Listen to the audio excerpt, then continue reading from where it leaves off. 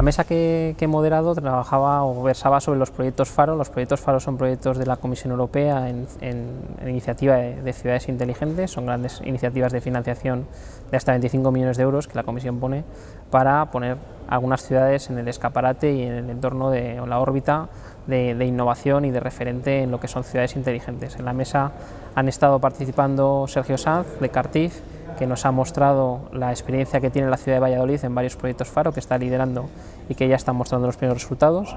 Y además hemos contado con cuatro personas de diferentes servicios públicos de la Administración de, la ciudad de Zaragoza, como son Javier Celma del, del Servicio de Medio Ambiente, José Antonio Chanca del Servicio de Movilidad Urbana, Paloma Bozman de Zaragoza de Vivienda y Gerardo La Huerta de Ciencia y Tecnología. Ellos nos han dado un poco la visión de cuál es la, Smart City Zaragoza que buscamos, hacia dónde nos estamos dirigiendo y cuáles son los retos que tenemos que, seguir y que conseguir afrontar para, alcanzar ese objetivo en, un plazo de 2020 pues, o 2025, que es, la línea o el horizonte que se está planteando para, estos proyectos. Bueno, se plantea sobre todo la necesidad de hacer un plan integrado. ¿no?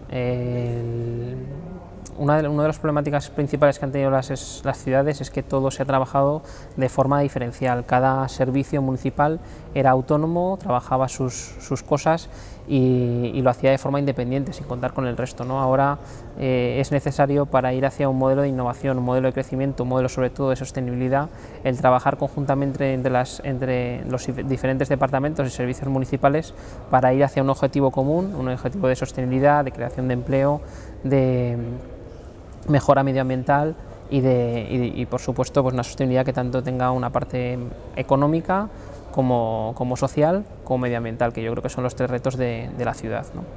El tema de la ciudad abierta eh, principalmente yo creo que parte de dos premisas. ¿no? Primero, es necesaria una, involucración del máximo nivel a nivel político y a nivel de, ciudad, que todas las ciudades, que todos los departamentos y todo el mundo vaya hacia la misma línea, pero por otro lado es muy, es muy necesario tener en cuenta al ciudadano que al final es el principal perceptor de todo lo que se hace en una ciudad. ¿no? Un ciudadano quiere, que, quiere quiere vivir en una ciudad, tiene que querer vivir en una ciudad y tiene que gustarle todo lo que se hace, tanto sea smart o no lo sea. ¿no? Entonces yo creo que esos, esos dos pilares, esos dos patas de, una ciudad se tienen que combinar y tienen que buscar cuál es el, la estrategia de ganar-ganar entre ambas. ¿no? Una ciudad abierta, pues para mí una ciudad es en la, en la que se quiere vivir, en la que se está a gusto. Yo personalmente en Zaragoza lo estoy y ya lanzo un, una, una lanza a favor de, lo que se hace en esta ciudad. A mí esta ciudad me gusta mucho, pero por supuesto siempre se puede mejorar y yo creo que en esa línea es la que se está.